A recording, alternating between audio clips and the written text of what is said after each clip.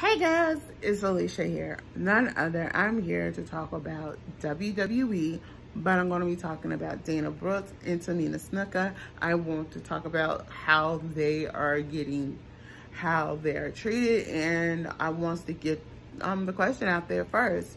And I want to, I want to hear from y'all after I um, do this video because um, something with Tamina, I um, did do a video with um, talking about her, this situation with her, but I want to talk about it a little more. As y'all know, since the incident, we hardly see a lot of women on, on Raw and SmackDown now.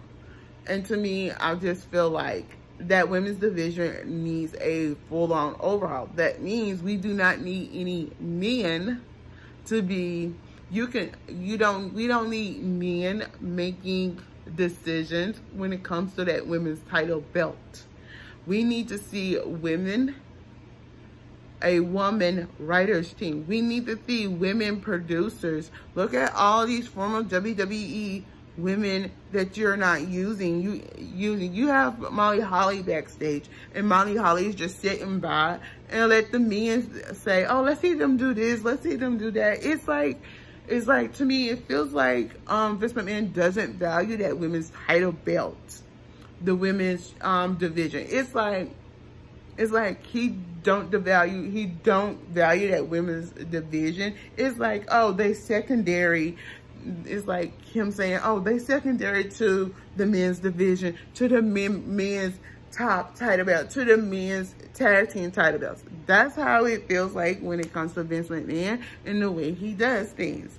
Now, I really feel like the way that WWE marketed, market female wrestlers, I'm literally saying it, market female wrestlers and how they portray female wrestlers in the industry is very, we as female fans needs to be concerned about and stuff. The reason I say this is, let's take a look at Tamina Snuka. Tamina Snuka, the daughter of the late, great Jimmy Fly Snuka. He, uh, she only got one title belt opportunity, and that was in 2020 in 2020, where she faced Bayley for that women's title belt. Okay, what's going on since then? She has, she had, did not get a rematch for that match. She's been in tag team after tag team. She's in, she's been seen more as a joke here lately because of that 24-7 championship, including Dana Brooks. And I'm going to talk about her in a, in a minute. But why, what's, what does she needs to do to be in that top contention? To me, I feel like she is a real good and strong female wrestler. Yes, she's associated with one of the biggest families She's associated with Roman Reigns, Jey, and Jimmy Uso, and Naomi, um, former, um, and, and thing. She's associated with them. And I'm gonna, um, um, leave some videos down, down below for you to, um, look at when it comes to Tamina. But you gotta, you have to, you gotta think about it it's not just all about the quality of wrestling we are getting when it comes to all of these different women. It's like, you got to question, you have to ask yourself, why Vince McMahon is pushing Charlotte Flair all the time, why he's pushing the narrative of Ronda Rousey all the time, why he's pushing Becky Lynch all the time. Those are three women we need to be concerned about. And then, you know, um, we got to be concerned. Okay, is he gonna Is he to do the same thing with Asuka? Those are four women we need to be worried about. I have no problem with Asuka. That's just that. I'm just bringing the narrative. And the narrative is, are we going to ever see Tamina in that top contention? She deserves that, that at least that. Because like I told you in, the, in, in another video that I said, she came close of winning Divas title belts, not once, but twice. Um, she, um, like I said, in 2020, she went up against Bayley for the women's title belt. What happened with that and what happened with that rematch clause that they didn't give her? So that is that. Okay, now let's get on Dana Brooks. As y'all know, Dana Brooks is the current 24-7 champion. Okay, to me, I feel like that championship is beneath her.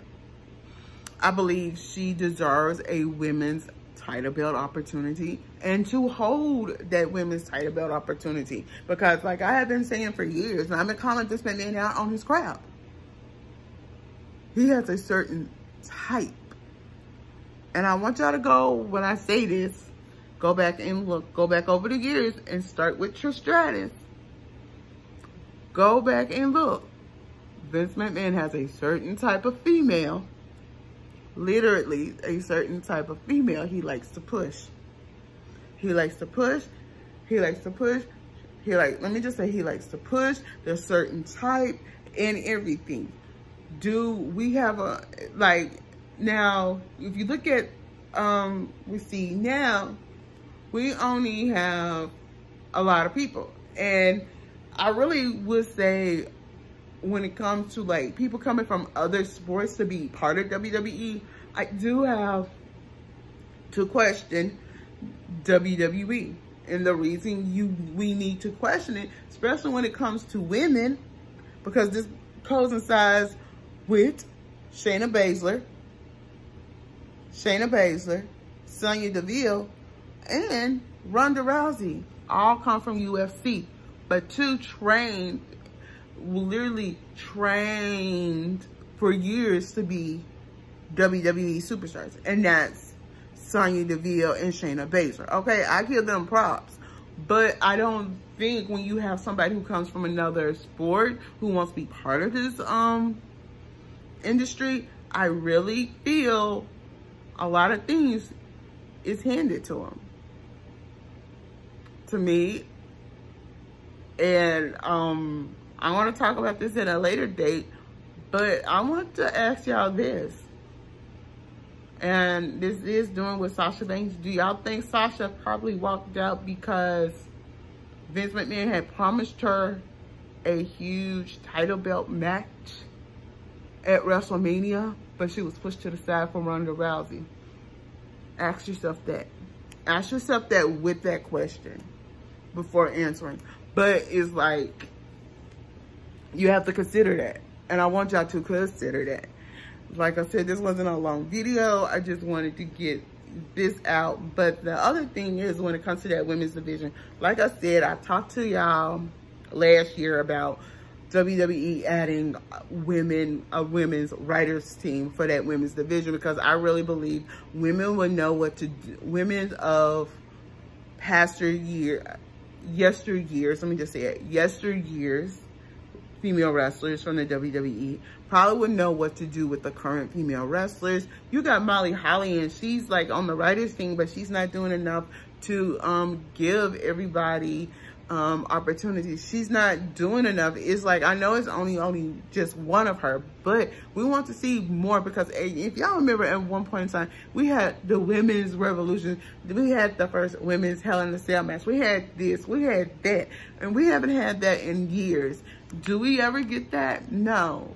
So I really feel like, feel like it needs to, we need to see our female wrestlers from yesteryears come into the company and start working with the women's division in general. And the question of the day, do y'all think women of WWE, women wrestlers of WWE's past, do you believe they need to come in and work with the women's division in general? All right, y'all, that's all I have time for. Don't forget to thumbs up this video, comment below, and subscribe to my channel. Bye.